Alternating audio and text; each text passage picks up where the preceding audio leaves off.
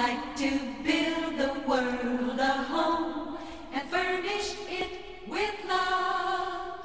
Grow apple trees and honey bees and snow white turtle. NCTV 45 presents The Thought for the Day.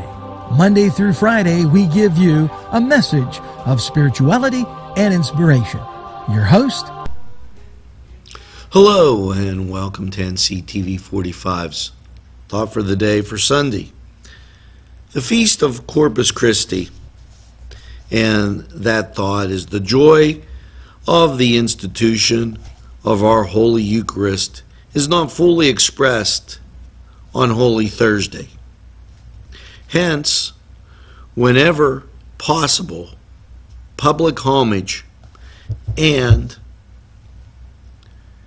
adoration are paid to Jesus in the Blessed Sacrament on the Feast of Corpus Christi. Today's Gospel will tell you this. At the time of Jesus, said to the crowds of the Jews, My flesh is real food, and my blood real drink. The man who feeds on my flesh and drinks my blood abide, abides in me, and I in him. Just as the Father, who has life, sent me, I have life because of the Father.